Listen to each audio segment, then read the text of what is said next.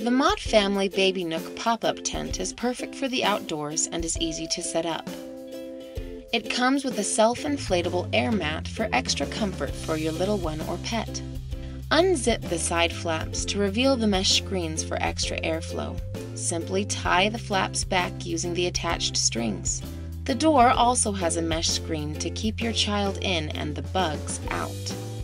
The tent is made with a lightweight, waterproof polyester fabric that provides SPF 50 protection from the sun's harmful rays. To disassemble, remove the air mat,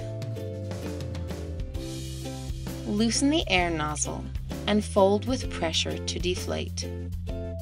Fold each end together like a taco, and grab the top and fold in on itself. Secure the tent with the attached elastic loop and put it back in its carrying case.